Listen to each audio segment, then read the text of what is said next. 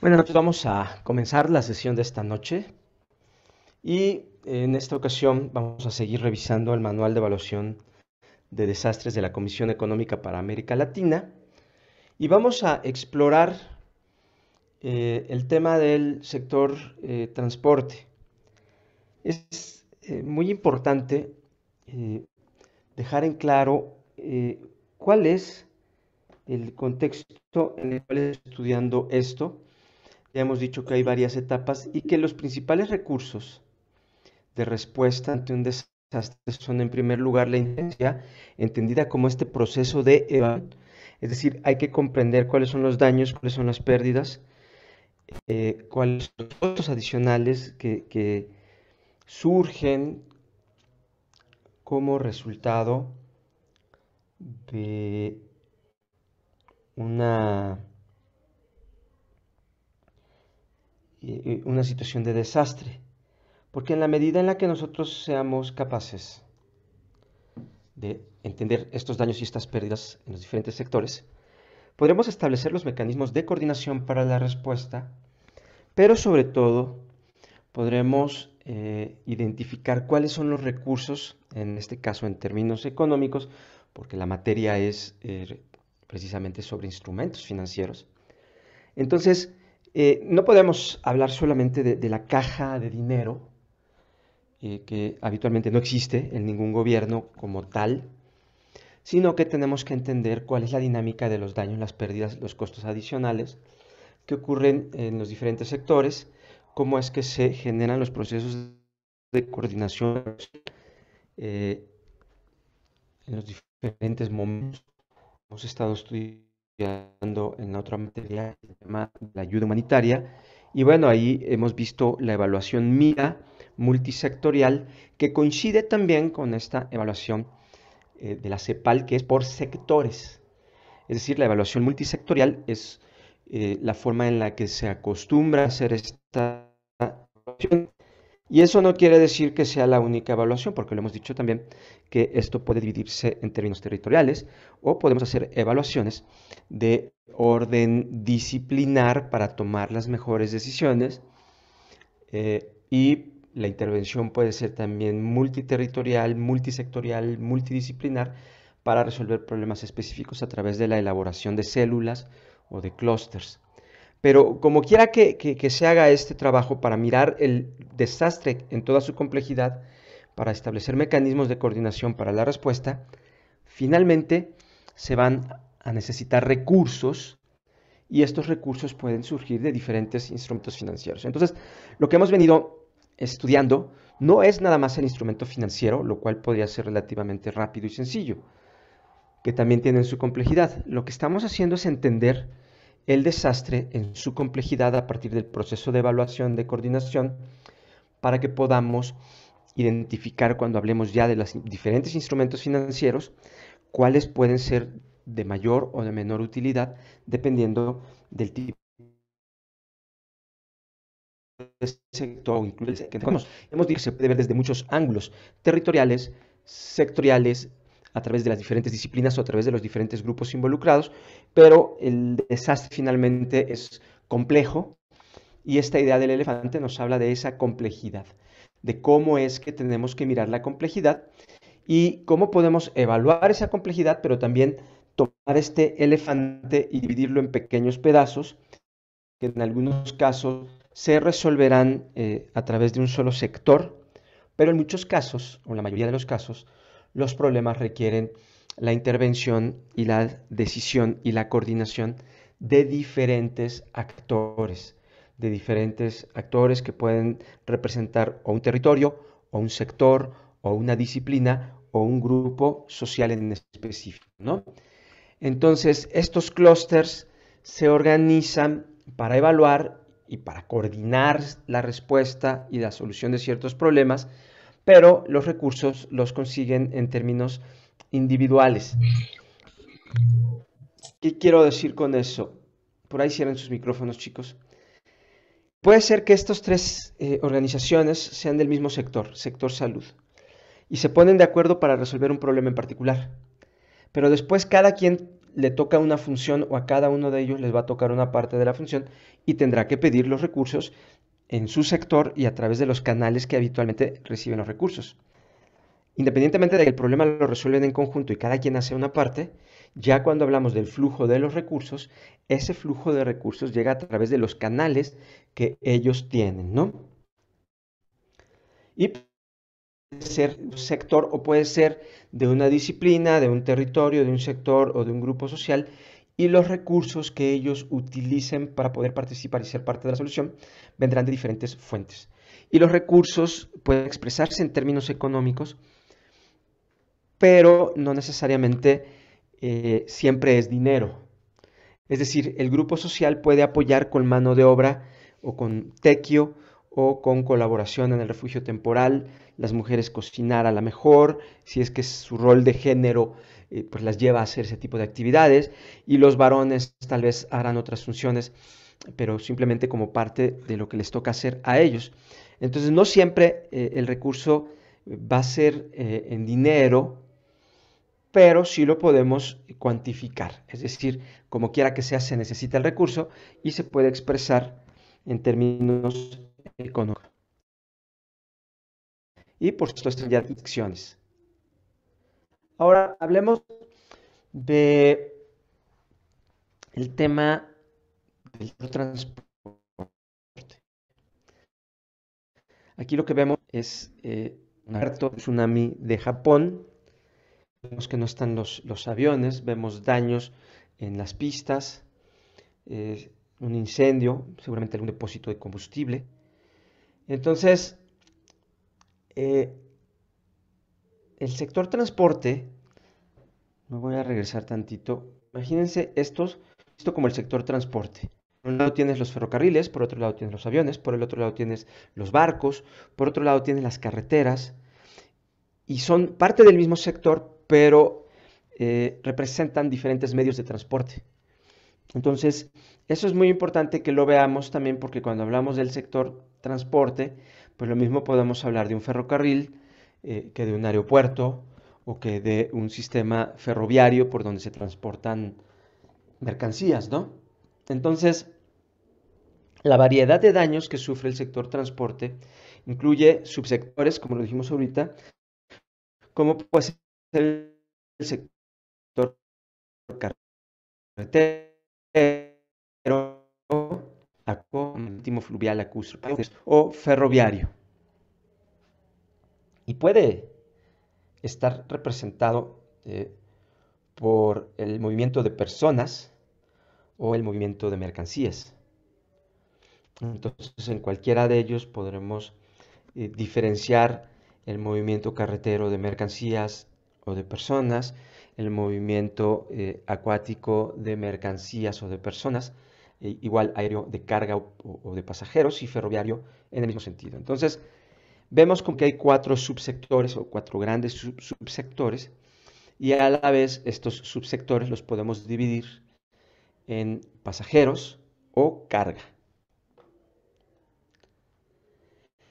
Y bueno, en este caso estamos hablando de un transporte ferroviario, esto es Guadalajara, este, y eh, probamos, además de, por supuesto, un transporte ferroviario, es un transporte de pasajeros y vemos que este evento ocurre en el contexto de una inundación, de una tormenta severa que provocó inundación. También eh, el manual nos dice que la infraestructura de transporte es fundamental para el desarrollo económico y el bienestar de la sociedad. Entonces, cuando fallan eh, los sistemas de transporte, eh, pues falla el movimiento de personas y de mercancías. Y eso es, por supuesto, muy importante para el desarrollo económico y social de las personas. Incluso puede ser que la carretera no funcione y entonces tendrás que generar un puente aéreo. Y eh, el transporte o esta infraestructura de transporte es un eje que dinamiza la actividad económica comercial del país o de la región y eh, pues se debe mantener eh, en operación y sobre todo también las interconexiones entre los diferentes modos de transporte y los diferentes tipos de mercancías o de personas que, utilizan estos servicios.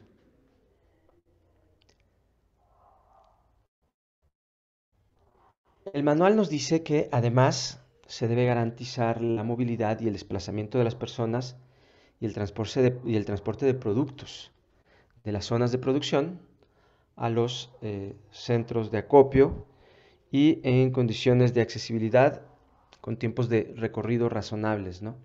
Entonces aquí vemos eh, un puente eh, que se ve que hubo una crecida y fue socavado, no solamente la pila del puente, sino vemos en, en las orillas también, vemos que fue una crecida importante, y que finalmente terminó por socavar la cimentación de este puente y colapsó.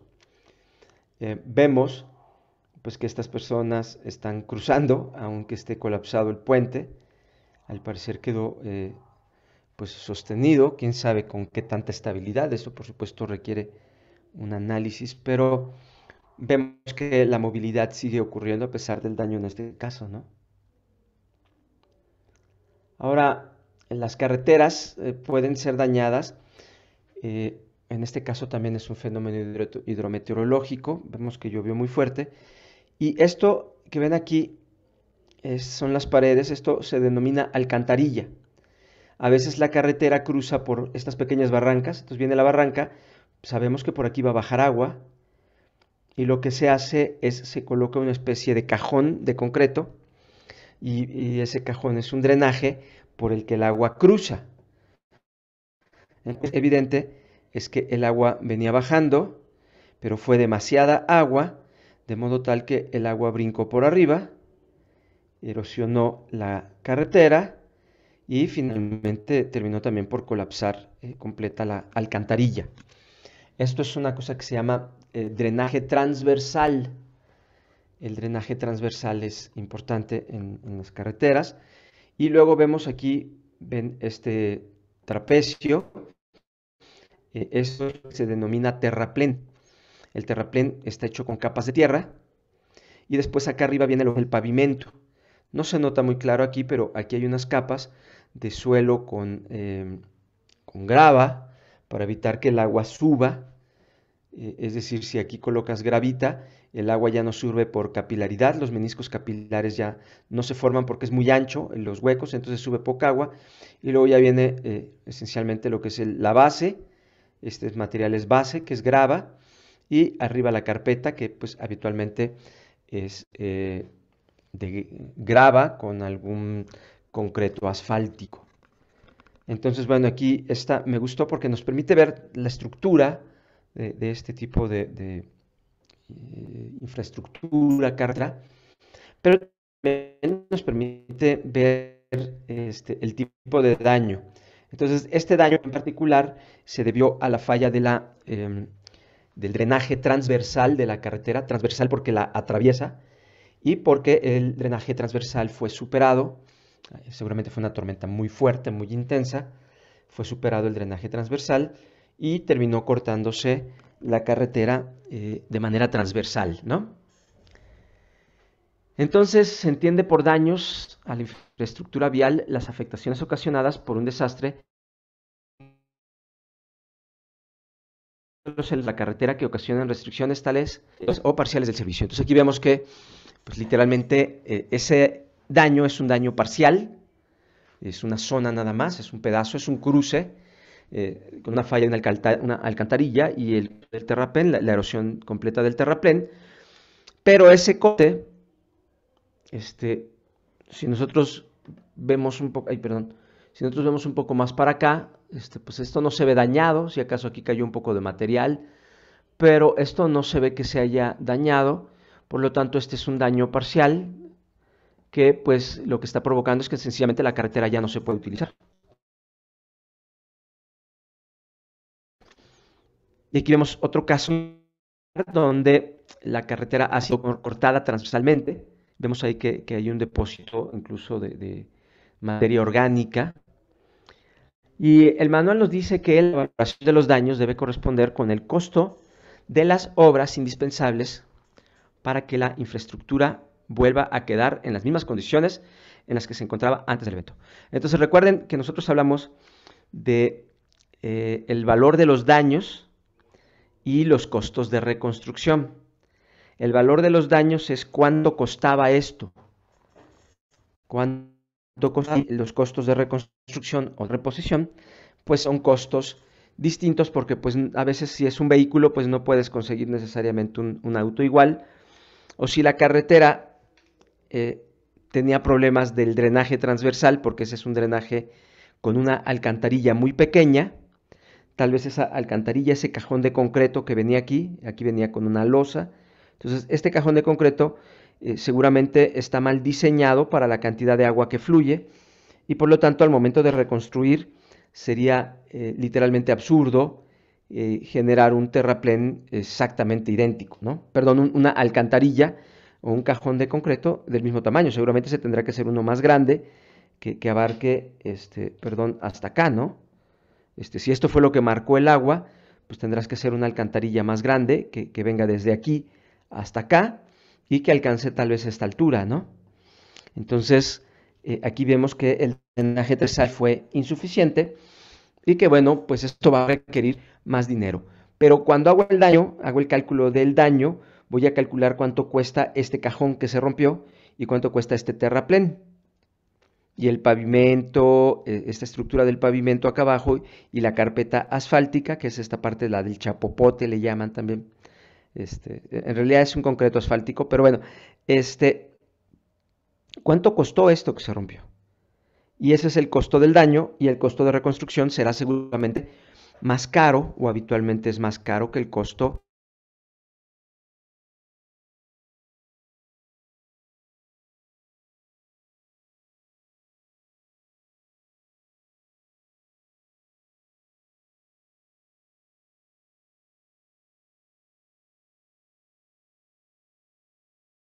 que la estimación de los daños incluye las obras de rehabilitación necesarias para restituir el servicio.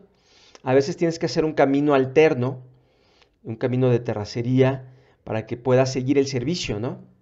O un puente este, de emergencia, puedes instalarlo. Entonces hay que restituir primero el servicio, ¿no? Y luego, pues hay este, costos eh, de obras de reposición de la infraestructura a fin de devolverla al estado en el que se encontraba antes de que ocurriera el desastre. ¿no?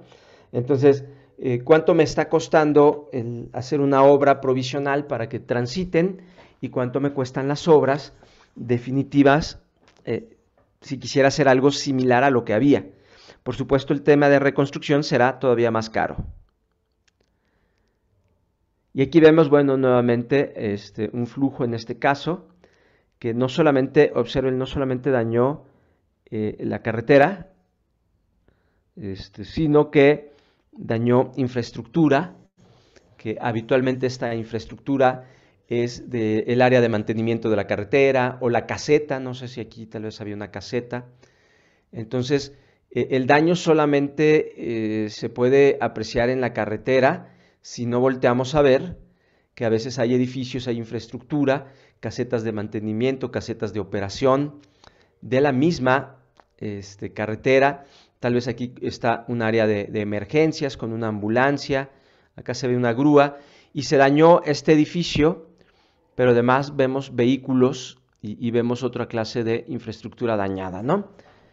Entonces, no solamente eh, hay que contabilizar los daños a la carretera, sino a veces daños a instalaciones, edificios que también están ahí, ¿no?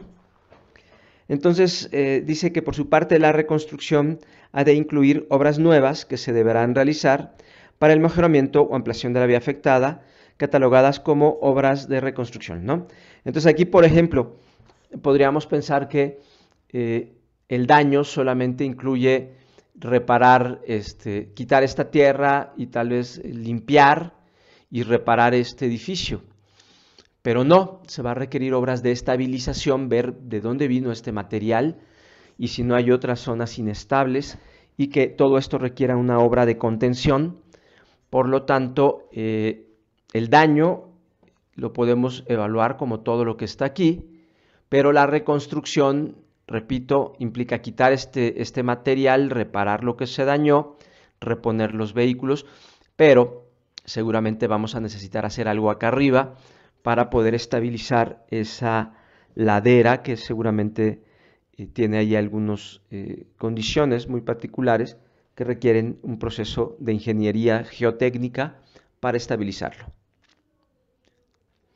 Nuevamente el tsunami de, Indonesia y vemos el puerto y los contenedores, pues cómo fueron eh, arrastrados por el agua. Entonces, eh, antes de comenzar a hacer el análisis necesitamos datos, ¿no? Información de lo que había antes de que ocurriera el desastre. Entonces, al iniciar esta estimación eh, del valor del daño y, las pérdidas, los costos adicionales y, por supuesto, los recursos de reconstrucción, eh, se requiere recabar cierta información, ¿no? Y el manual nos dice, bueno, eh, hay que identificar las organizaciones, entidades, sectores que tienen competencia, que son responsables de esta infraestructura. Entonces aquí hemos visto, pues por un lado en México sería aeropuertos y servicios auxiliares y por el otro lado la Secretaría de Comunicaciones y Transportes, particularmente caminos y puentes federales, tal vez. O por el otro lado vimos que está el, eh, metro de Guadalajara, el tren ligero de Guadalajara. Entonces, eh, hay que identificar de entrada, dentro de todo esto, este, quiénes son, eh, en esta imagen que vemos, la autoridad portuaria, por ejemplo, quiénes son aquellos responsables de la infraestructura afectada y este, hay que establecer una relación con ellos para poder determinar eh, la metodología para evaluación de los daños. Y hay que elaborar este, y tener una idea clara de cómo son las instituciones que se hacen cargo de cada uno de los sectores. Pueden ser instituciones públicas, pueden ser instituciones privadas, concesionados algunos servicios. Entonces hay que tener muy claro este mapeo, que yo les decía primero es, eh, son los cuatro, carretero, aéreo, em, ferroviario, y, cada uno, y marítimo por supuesto, y cada uno de ellos puede dividirse en carga o en pasajeros pero aquí vemos, por ejemplo, todos esos contenedores. No sabemos si la mercancía está dañada. Y aquí hay que tener mucho cuidado porque podemos tal vez por un lado medir el valor del contenedor si es que se dañó el contenedor, pero el tema de la mercancía entra en otros sectores que son los sectores económicos. Entonces aquí solamente vamos a, a, valorar el transporte, no las mercancías, no los contenidos que de algún modo están sufriendo daño y pérdida. Estamos evaluando los costos en el transporte. Y continuando, el manual nos dice que también necesitamos información y conocimiento de la infraestructura del país. Este, ¿Cuál es la infraestructura vial, eh, aeroportuaria, ferroviaria? Este, el número de kilómetros, eh, cómo se encontraba antes de ocurrir el desastre y eh, determinar las zonas geográficas afectadas y las características del terreno, porque pues evidentemente al llegar al lugar vamos a tener que tener condiciones para poder acceder, ¿no? Necesitamos mapas de estas regiones afectadas que muestren eh, pues las diferentes instalaciones, ¿no? Las carreteras, las estaciones de ferrocarril, las vías de ferrocarril, los puertos, los aeropuertos, ¿no? Y estos mapas eh, tienen que ser por supuesto de la región y nos pueden mostrar cómo eh, están eh, en el territorio los diferentes elementos del sector transporte, pero también cómo es que están interconectados, qué rutas alternas hay en caso de que existan estas rutas alternas para la movilidad de recursos y las características de las vías y sobre todo también sus funcionalidades. Ahorita vamos a ver qué tipo de funciones hay, ¿no? Nuevamente, pues en el tsunami de Indonesia vemos pues daños a los vehículos individuales, pero también estamos viendo parte de lo que arrastró eh, el agua eh, en cuanto a transporte aéreo, ¿no? Entonces, y, acá vemos también parte de los equipos eh, de los aeropuertos, ¿no? Y también nos dice el manual que antes de comenzar el proceso de evaluación necesitamos información sobre los flujos normales de transporte de carga y de, pasajeros. Es decir, cuántos vuelos en promedio había al día en, este aeropuerto, cuántas eh, personas movía o cuántos viajes movía un tren o em, cuánta mercancía se movía en el puerto o, el ferrocarril de carga, ¿no? Entonces recuerden nuevamente es carga y pasajeros. Información sobre los costos de la operación, ¿no? Eh, no solamente de los vehículos, sino de pues, todos los eh, sistemas que están eh, operando ahí. Es decir, en general, la administración de las vías corresponde a instancias nacionales a cargo de un gobierno central, departamentales o a, cargo de un departamento estatal, municipales a cargo de los municipios, pero también puede haber concesiones, es decir, que no dependan necesariamente del gobierno, sino que estén estos servicios concesionados a empresas eh, privadas. Nuevamente aquí vemos las pistas, eh, el daño que tal vez eh, por erosión o por depósito se generó en estas pistas de este aeropuerto. Y dice el manual que en primera instancia es necesario programar una reunión con los funcionarios responsables de la infraestructura afectada y con las autoridades locales. Entonces, si tú vas a evaluar este sector, lo primero que tienes que identificar es para estos cuatro componentes eh, y para el, tipo de carga o de pasajeros, em, qué tipo de daños pudo haber ocurrido, esto mapearlo y posteriormente eh, establecer pues ya el calendario de reuniones con los responsables de los diferentes sectores de las diferentes empresas tal vez que estén involucradas en el desastre. ¿no? Entonces, eh, tienes que programar estas reuniones con funcionarios responsables de la infraestructura afectada, con las autoridades locales, y esto pues a, fin de obtener una información sobre las características, condiciones y magnitud de los impactos registrados. ¿no? Entonces tal vez no se haya cuantificado todavía los montos, pero sí es importante eh, tener una reunión, identificar a estos actores, incluso asesorarlos.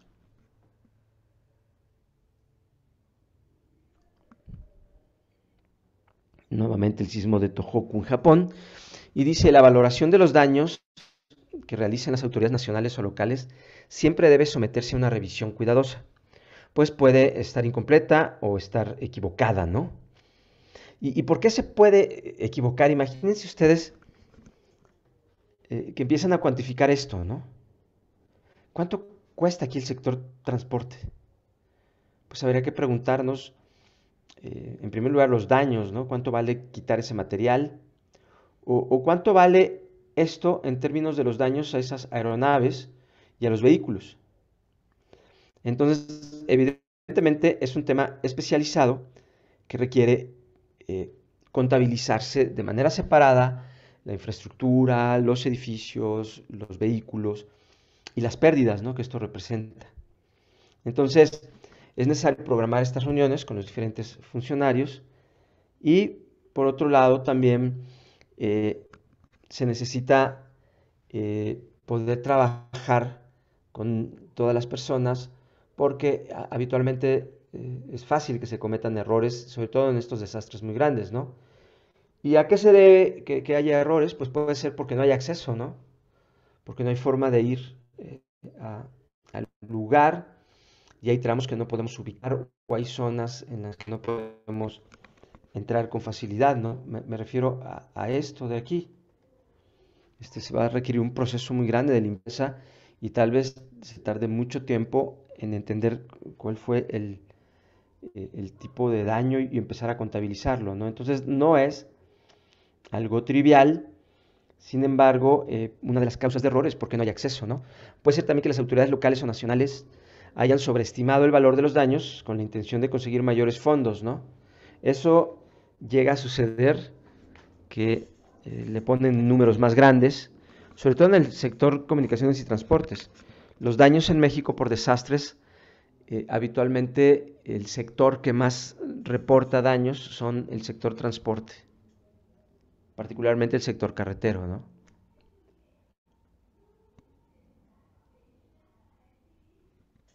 Entonces, esta falta de, fiabilidad de los datos también se puede deber a que una parte del daño eh, se haya producido con anterioridad al desastre mismo, ¿no?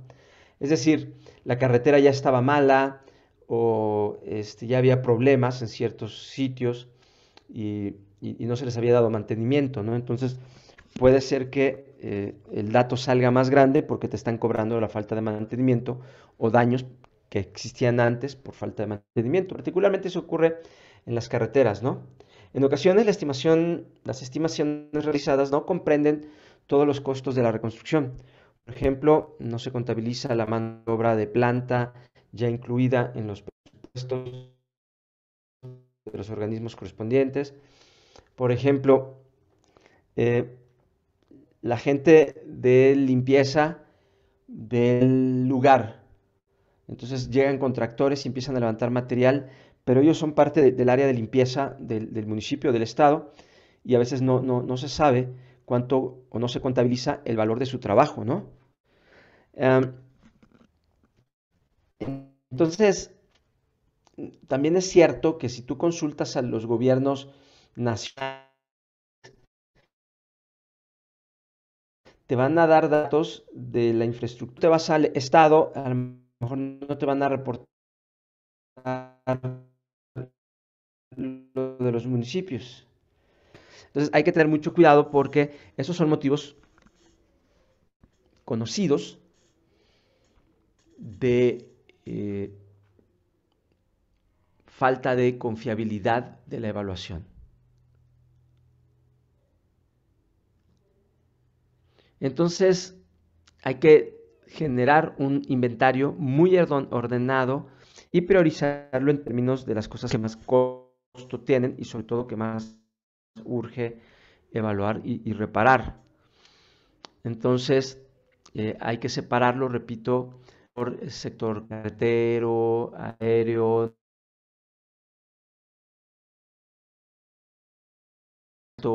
ferroviario, carga, editorios. Entonces tienes que entender claramente cuál va a ser el orden que le vas a dar a tu base de datos. Recuerden que cuando hacemos inteligencia, pues no se trata de traer nada más datos, sino que esos datos tienen que estar ordenados en diferentes cajones para que cada uno de esos cajones eh, se conviertan en información, estén ordenadas y podamos trabajar con ella y analizarla, ¿no? Entonces hay que llevar a cabo una inspección ocular, si es posible, de los daños producidos. Este, en muchas ocasiones esto eh, es un poco complicado, eh, por, por ejemplo, ir a este lugar, ¿no? Pues tu única forma de entrar es con un recorrido aéreo, ¿no? Aquí se ve que hay gente caminando, pero acá tienes que hacerlo con un recorrido aéreo y tal vez mucho lo que tú observes este, no va a ser fácil percibirlo a, esa altura, ¿no? Entonces, bueno, repito, este, los de arriba nada más reportan lo de arriba y así sucesivamente, entonces hay que tener cuidado para poder entrar a los diferentes órdenes de gobierno y hay que llevar inspecciones eh, priorizadas, ordenadas, un inventario, y también ir al terreno para poder evaluarlo. Este, también hay que ver qué efecto tiene esto. Aquí vemos pues que este corte transversal a la carretera pues tal vez represente apenas un pedacito del que se ve en el fondo, ¿no? Donde los taludes este, pues han depositado o se ha depositado mucho material, ¿no? Entonces dice, eh, hay que eh, eh, contabilidad de las mejoras o adiciones que permitan proyectar o hacer mejor la reconstrucción, ¿no? Reconstruir mejor, build back better. Entonces, tú tienes tu inventario muy ordenadito y puedes calcular a partir de ese inventario los daños, pero por otro lado tendrás simultáneamente otra cuenta de mejoras necesarias para la reconstrucción.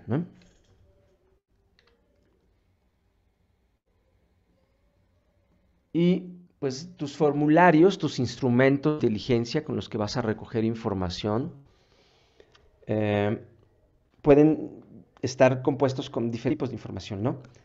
Este, se debe plantear o si es público, indicar si la carretera este, está ubicada en cierto lugar, es decir, este, y, quién la está administrando, ¿no? también eh, a quién le corresponde, a qué departamento eh, le corresponde. Entonces, eh, repito, es un inventario amplio, complejo, que tenemos que ordenar muy bien desde un principio. Porque cuando llegamos aquí, pues lo que observamos es literalmente este, un tremendo desorden, ¿no? Entonces, hay algo que a veces este, puede ser problemático porque eh, una parte de la carretera puede estar del lado de una jurisdicción, un estado o un municipio o incluso en un país. Eh, y estas colindancias son, son importantes eh, que se mencionen también. Son útiles porque de nada te sirve arreglar la carretera si del otro lado no, no se hace lo mismo, ¿no? Aquí el, sismo de, Kobe, en Japón también. Entonces hay que registrar el nombre de la vía, y se debe indicar la vía, eh, en la, vía donde sucede el evento, de acuerdo a cómo se registre inventario vial territorial. El primer nombre denomina el origen y el último el destino. Entonces, esta es la autopista o eh, Kobe o acá, no sé cómo se llame, ¿no? Entonces, y pones el kilómetro, la zona en la que ocurrió todo este, este daño, ¿no? Aquí vemos otro, otro aeropuerto nuevamente este, daños graves en las pistas y por supuesto eh, vemos las instalaciones, bodegas que eh, tal vez sufrieron daños, los depósitos de combustible tal vez pudieron haber sufrido afectaciones. Ahora, hay que reportar también la funcionalidad, es decir, la función de cada uno de estos medios. Y puede ser eh, una vía primaria, eh, troncal, transversal, que da a la capital del, estado, o es una autopista federal, nacional, es el aeropuerto eh, de la ciudad, un aeropuerto local, o un aeropuerto nacional, o un aeropuerto internacional, o puede ser el tren ligero de una ciudad como Guadalajara, eh, o puede ser el, ferrocarril que atraviesa todo el país. Entonces hay que entender si estamos usando eh, si es de primer nivel o de segundo o de tercero, ¿no? Que solamente da servicio en lo local, que ve a una pequeña parte de la eh, comunidad, pero que no eh, brinda servicios más allá del Estado o de la nación. Entonces, puede ser internacional, nacional, local, o federales a municipal, hay varias formas. Lo importante es que podamos establecer esas categorías porque, por supuesto, dependiendo de la categoría, eh, será el impacto. No es lo mismo un impacto internacional que uno local. Y, esa diferenciación es muy importante considere, ¿no? Aquí tenemos una imagen de este esta vía doble, de doble piso en San Francisco. Cuando hablamos de puentes, debemos hablar de daños en la cimentación o cuidados generalmente por crecientes que erosionan la base, como el que vimos hace ratito, que erosionó la cimentación, o por exposición continua al contacto con agua sin medidas de protección adecuadas. Es decir, se erosionan las pilas y de repente colapsan, eh, y eso tiene que ver con la cimentación. Este caso no es así. Aquí vemos lo que, lo que fallaron estas conexiones y esta tableta literalmente, esto es un, eh, evidentemente es prefabricado, literalmente ¿no? Y golpeó con la de abajo y, y causó seguro daños bastante graves, ¿no? Entonces, daños en los muros laterales, destrucción total o parcial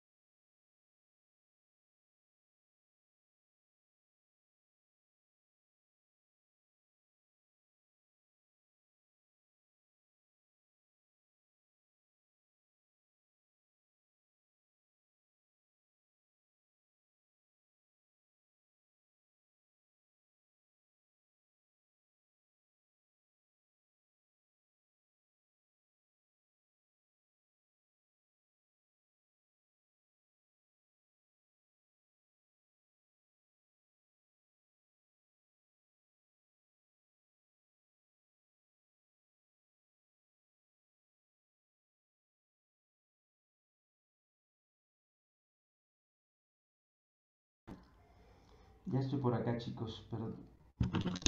Perdón. Tuve aquí un problema. Mi internet me, me desconectó de repente. Pero bueno, vamos a seguir.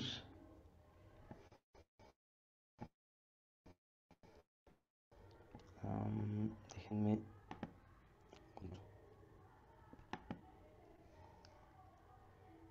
Decía que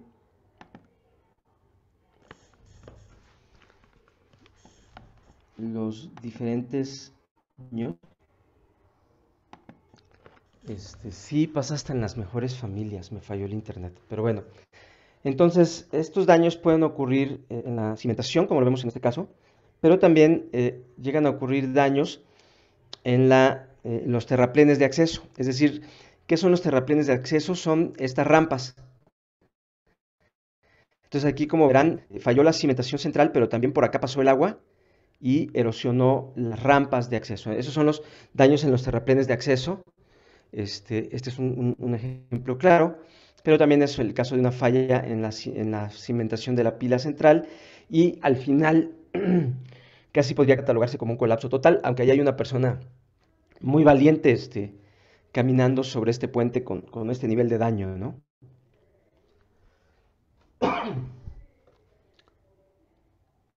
También puede haber derrumbes, deslizamientos, flujos de lodo, eso pues se ve más en geología geología física, y este, esto corresponde a todas las afectaciones ocasionadas por la inestabilidad de las laderas, disminución de cohesión de los terrenos o desprendimiento de placas de las montañas. ¿no?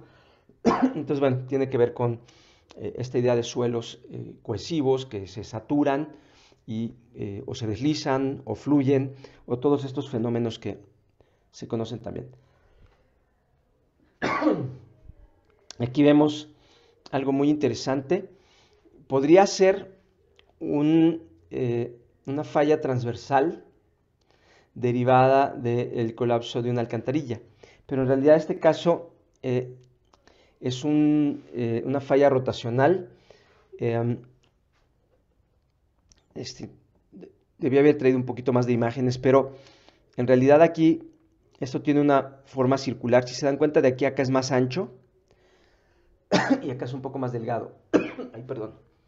Entonces, eh, esto es una falla rotacional del terraplén. Entonces puede haber hundimientos por afectaciones producidas por los fenómenos anteriores, es decir, flujos, deslizamientos del talud el mismo terraplén, ¿no?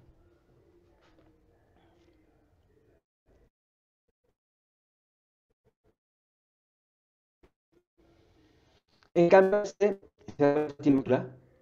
este es una falla transversal, está plano, no estamos hablando de un lugar eh, inclinado, sencillamente aquí es una falla de drenaje, esta es una falla de la alcantarilla, donde puede haber afectaciones por horas de drenaje, taponamiento por eh, colmatación de cunetas, es decir, que se llenan las cunetas o los alcantarillas, y aquí, bueno, eh, utilizan otros nombres, los encoles y descoles, filtros, zanjas de coronación, filtros laterales, Todas esas son obras que eh, habitualmente ustedes las ven aquí. Esto que está aquí es una cuneta.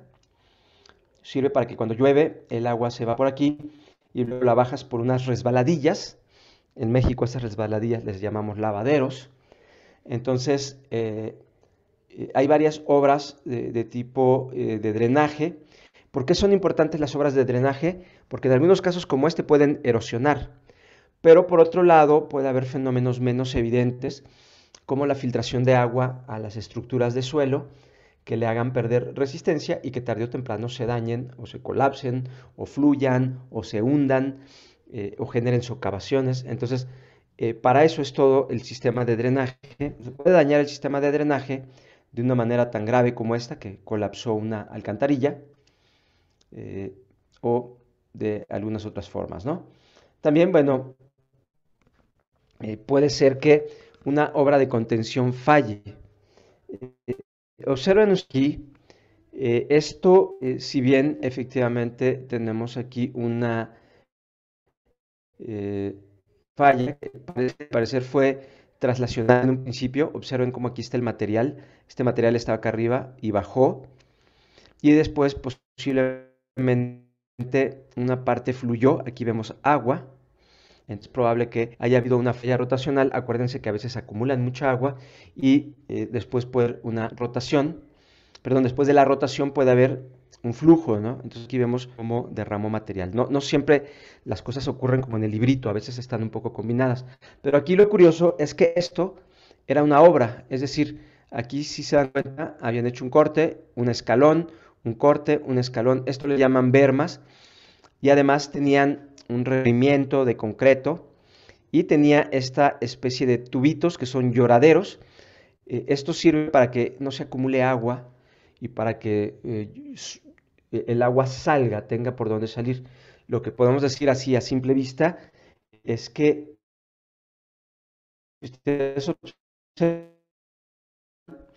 tiene muy lloraderos Observen más para arriba y no hay nada más posible. Es probable que mucha humedad, falla traslacional y posiblemente la misma agua que había en el subsuelo provocó también un flujo. Entonces, bueno, entonces el manual nos dice que puede haber afectación a obras de contención, como pueden ser estas obras eh, que vemos con concreto, o pueden ser de muros de gavión, o muros de piedra, o muros de concreto. Entonces, ser arriba o abajo, ¿no? En el superior o inferior. El superior es de acá, y el talud inferior pues es de abajo, ¿no? Afectación a los terraplenes, pérdida total o parcial por derrumbes, pérdida de los taludes superior o inferior, este, pérdida de cuestión. Eh,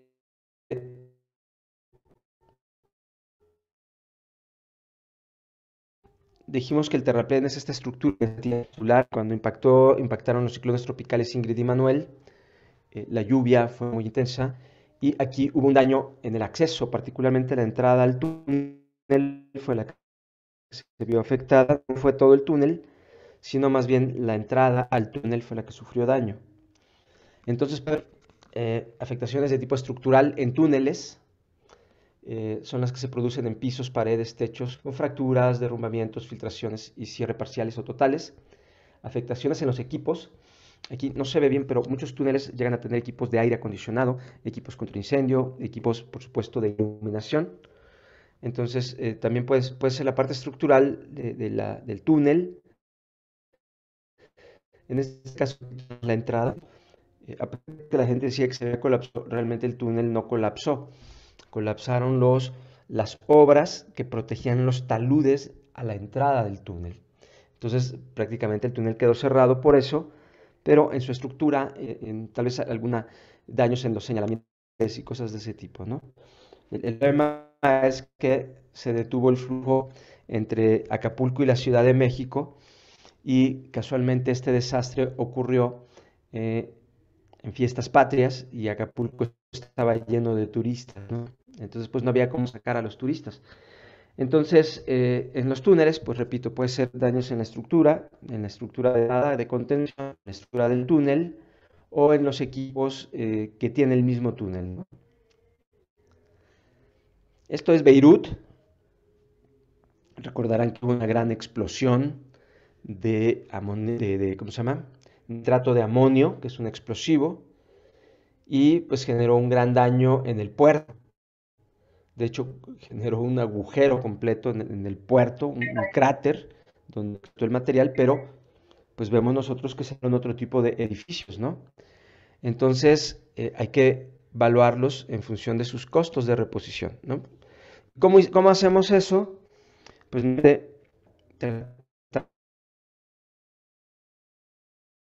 de ver, eh, conseguir planos, lo que había ahí, cuántos niveles el metro, eh, esto es parte de la estructura del puerto. Entonces son los del puerto, uno de estos eh, pisos, cada uno de estos niveles, lo multiplicamos por el valor del metro cuadrado y luego también los equipos que hay ahí adentro, hay que revisar qué tipo de equipos. No las mercancías, repito, la mercancía se calcula por otro lado, pero pues puede haber mobiliario, puede haber diferentes equipos de carga, montacargas, puede haber racks, que son así como como rejillas gigantescas, estructuras donde guardas los, contenedores. Entonces puede haber de diferentes tipos, ¿no? Entonces, los edificios se valoran según el costo de reposición, ya lo dijimos, no de reconstrucción, sino de, reposición, con características similares a las del diseño original y se requiere información destruida o dañada. Entonces necesitamos saber cuántos metros cuadrados hay aquí. Podemos conseguir un mapa antes, calcular los metros, calcularlo, multiplicarlo por el número de pisos y ver eh, este tipo de estructura cuánto vale en este lugar y entonces podemos tener el valor del daño. Se puede utilizar una escala partiendo de 0 hasta un nivel 4 o del 1 al 10, ustedes lo eligen, porque evidentemente esto pues son colapsos completos, vemos estos de acá atrás, este, donde están los camiones bomberos, esto es un daño total, pero aquí eh, los de arriba tal vez tengan daño y los de abajo tal vez la estructura, no lo sé, o sea, estoy hablando al aire, pero ¿qué porcentaje le pondríamos del 1 al 10, no? puede tener eh, entre un 8, un 7, no lo sé. Entonces, eh, a lo que se refiere es qué tanto se puede rescatar de la estructura y qué porcentaje le agregas, ¿no? Del 1 al 10, daño parcial o muy poquito, y así sucesivamente, porque a veces no vamos a tener claridad del nivel de daño. Entonces, eh, multiplico los metros cuadrados por el número de pisos y luego eso, ese valor lo multiplico por el 5%, el 10%, eh, y ya con eso puedo obtener eh, si fue un décimo o, cinco o la mitad, cinco décimos de daño, ¿no? Eh, se puede utilizar una escala que partiendo de cero, que es el nulo, hasta un número, aquí le ponen 4, nos determine cuál es la proporción del daño, y se aplica el valor eh, del metro cuadrado de, construcción, ¿no? Entonces calculas el número de metros, después el porcentaje de daño y luego lo multiplicas eso por el valor del metro cuadrado de reconstrucción o del valor de ese edificio y daño. Y ya después lo tienes que hacer por el número del metro cuadrado de reconstrucción, ¿no? Ahora, para reconstruir primero tenemos que quitar todo este tiradero, ¿no? Entonces eso entra dentro de los costos, ¿no? La demolición, y retiro de todo este tiradero que está aquí, ¿no? También, bueno, esto es una, banda este, de uno de los aeropuertos de Japón. Es una banda donde llegan las maletas en el aeropuerto y entonces eh, no solamente es la estructura, ¿no? sino también hay mobiliario y equipos. Eh, para la valoración del mobiliario se debe establecer una tipología. Entonces, em, en algunos casos, este es un aeropuerto seguramente internacional, eh, que tiene un equipamiento que incluye tal vez aduanas, incluye tal vez estas bandas transportadoras para las maletas. Entonces eh, hay que establecer categorías, ¿no? Si es chico, mediano, grande, si es local, si es internacional. Y a partir de ello, este, hay que ver también el tipo de equipo que tiene. Y en algunos casos, si son muchas, por ejemplo, estaciones del metro, se dañaron cinco estaciones del metro, pues calculo lo que tiene una sola estación y si todas son muy parecidas, eh, les pongo el mismo valor, ¿no? Igual si son aeropuertos o estamos... Entonces, la estimación de los daños en la flota eh, de vehículos, barcos, trenes, aviones, eh, requiere la recopilación de información previa al desastre. ¿no? En este caso se debe recabar, por supuesto, de las empresas transportistas que trabajan en la zona para el desastre y este, hay que saber cuántos vehículos se tenían, ¿no? Y por otro lado, bueno, el modelo. Hay, vehículos nuevos, hay vehículos viejos y aquí vemos que no solamente eh, estos equipos sirven por personas, o para transportar mercancía, sino que también algunos son medios de vida. Entonces, este es seguramente un barco pesquero. Entonces, esto es una actividad productiva también, ¿no?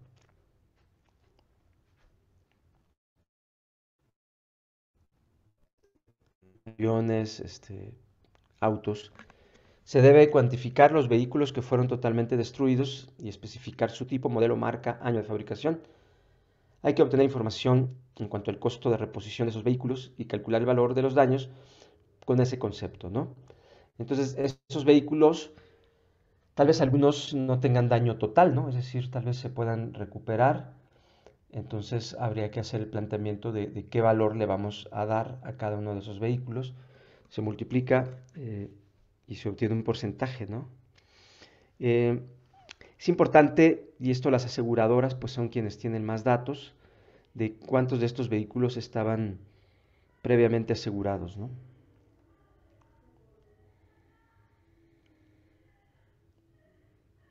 se debe determinar el número de vehículos averiados, estimar su costo, a veces no es fácil cuánto vale un, carro de ferrocarril de estos, y este, sobre la base de la información suministrada por las empresas. ¿no? Ellos son quienes seguramente tendrán mejor los datos. El impacto de los desastres sobre la infraestructura vial no solo afecta al sector, sino que golpea a las diferentes actividades de la economía nacional y como consecuencia de la suspensión o restricción de ciertos servicios, pero también pueden provocar impacto, por ejemplo, en la seguridad militar, ¿no? Para los usuarios, el cierre parcial o total de las vías implica mayores distancias, más tiempo de viaje, un aumento en los costos de operación vehicular y todos estos factores eh, redundan en mayores costos de transporte. Entonces ya estamos hablando de pérdidas. Las pérdidas pues implican mayor tiempo, mayores distancias, y eso pues lo podemos eh, convertir en costos, ¿no? En el cálculo monetario de esas afectaciones no se incluyen las de la carga transportada a causa de las eh, supresiones de flujos, ¿no? Porque su efecto económico está incluido en las pérdidas estimadas en los respectivos sectores de los eh, sectores productivos, ¿no? Entonces, em, si hay menos producción, eso no se considera. Si eh, por algún motivo se dañaron todas las fábricas, eso se considera en el sector económico, ¿no? Hay cambios en los flujos. Ahí vemos un, radar, este, el avión, los vehículos, daños a, los edificios. Entonces, mayor costo de transporte de carga debido a la utilización de vías alternas. Eso es uno de los eh, costos adicionales que podemos considerar en, en esto, ¿no? Y que entran dentro de esta parte de las pérdidas. ¿Por qué? Pues porque vamos a tener que utilizar otras vías para transportar, otros lugares para volar. Entonces hay mayores costos de operación eh, vehicular de carga y pasajeros debido a que son recorridos tal vez más largos. Para ir al aeropuerto vas a tener que recorrer mayores distancias. Para llegar al próximo puerto y, vender las mercancías, pues eso implica mayor eh, distancia.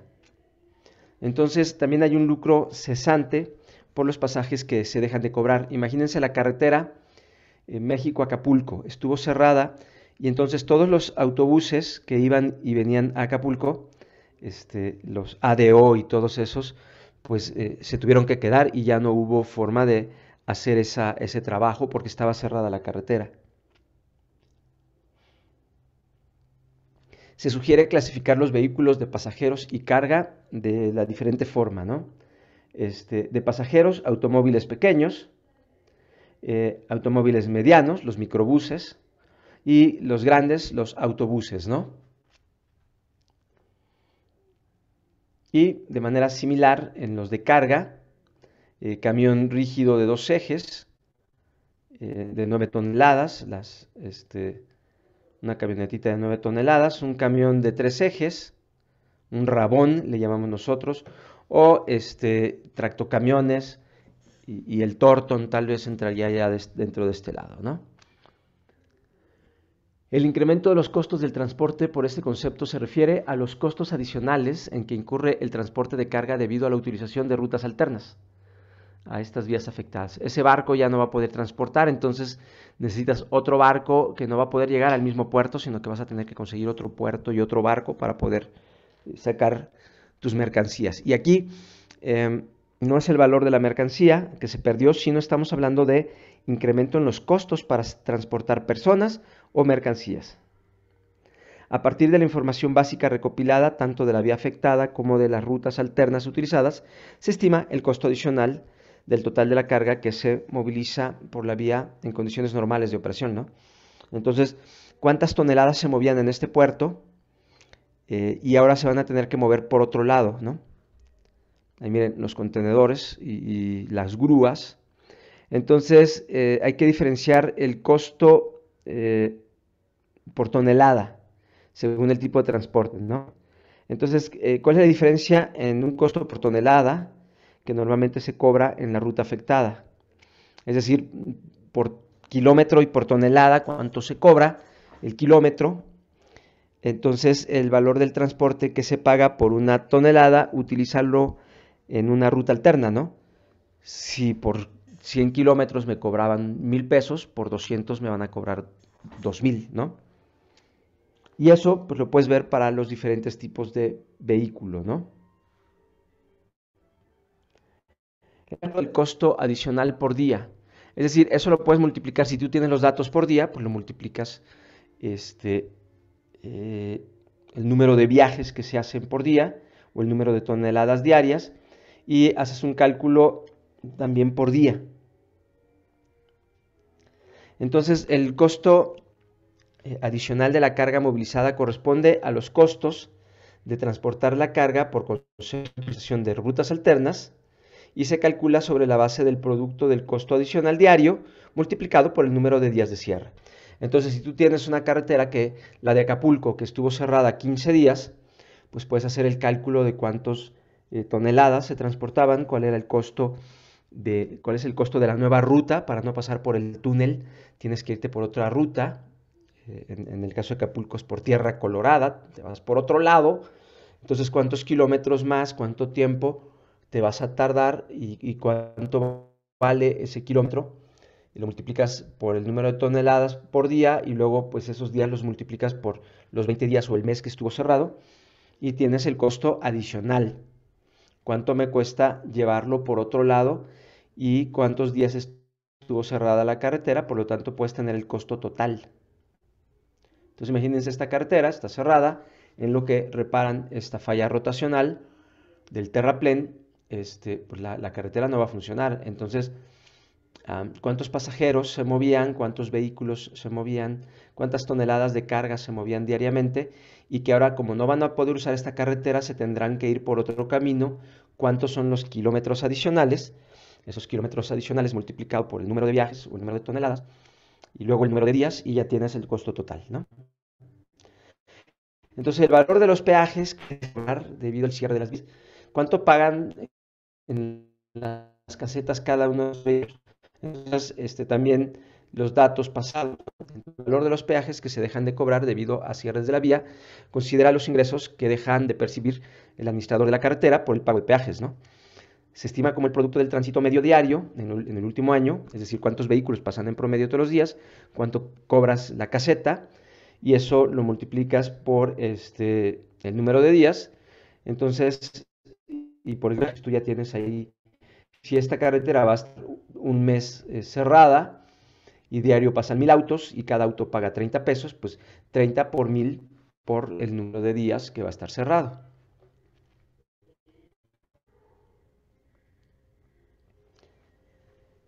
También puede ocurrir que mucha gente, por ejemplo, si yo pensaba ir a Acapulco, ¿no? Y entonces eh, está encerrada un tramo. Y para llegar a Acapulco tengo que rodear por tierra colorada, que la carretera no está nada bonita. Y además es peligroso esa, ruta. Pues entonces en vez de viajar decido no ir. Simplemente no salgo hasta que la carretera esté reparada. Entonces, eso puede ocurrir eh, en el peaje, el número de personas, pero también en la carga, ¿no? Entonces, los efectos hasta ahora considerados se asocian al incremento de costos para transportar la misma carga, pero también hay un impacto que tiene que ver con una disminución, por ejemplo, en las casetas eh, contiguas. Eh, es decir, son cinco casetas las que hay de aquí a Acapulco, por ejemplo, ¿no? Solamente un tramo está dañado, pero yo ya no quiero ir, entonces eh, ahí utilizas una técnica de línea base. Entonces vemos cuántos eh, pasajes había en un día como hoy. Habría en un día como hoy 50, eh, 50 peajes pagados y en realidad nada más hubo 30. Entonces esa disminución en la carga o en el número de transportes lo hacemos a partir de una línea base. También podemos calcularlo. Hay costos adicionales como este puente militar, ¿no? Entonces las intervenciones deben centrarse en eh, los corredores viales más importantes que sufrieron impacto, ¿no? Las principales carreteras. Y lo que tienes que hacer es, pues, regresarlo a la operación. Entonces, para que vuelva a operar, puedes eh, remover eh, la tierra de los derrumbes, puedes construir un camino alterno, rodear por una terracería, o puedes poner puentes de emergencia, como estos puentes militares, y todo eso tiene un costo. Entonces hay que contabilizar todas las acciones para que el, flujo eh, se vuelva a generar.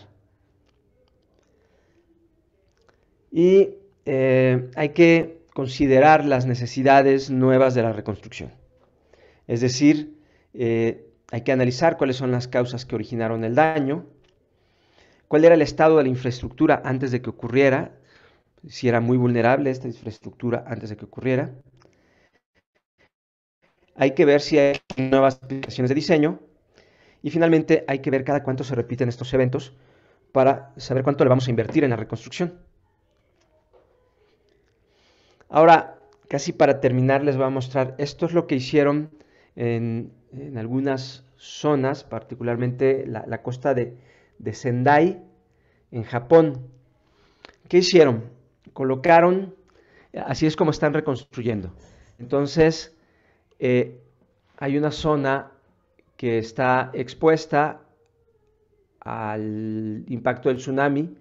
Después aquí colocaron este, un muro de 7.2 metros de altura.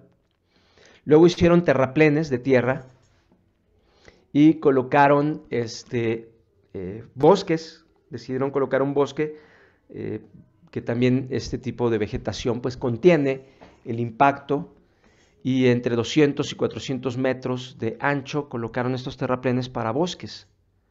Y esta es la zona roja.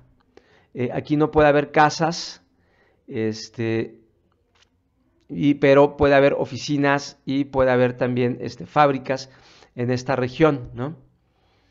Eh, posteriormente colocaron una carretera, aquí construyeron la autopista y la autopista tiene también otros 6 metros, entonces vas teniendo diferentes barreras y la autopista se vuelve un terrapén que lo hicieron longitudinal, es decir, lo hicieron paralelo a la costa para que sirva como otra barrera, ¿no? Em, algo este, que se puede instalar aquí son instalaciones de concreto reforzado eh, o eh, instalaciones altas que puedan servir como refugio en caso que venga el tsunami y, que sean lo suficientemente resistentes y que tú puedas subir y protegerte acá. O también estas que tienen palafitos y que pues son de algún modo este, más altas. Y después de eso decidieron colocar todo lo demás, ¿no? Lo que le llaman la, ciudad.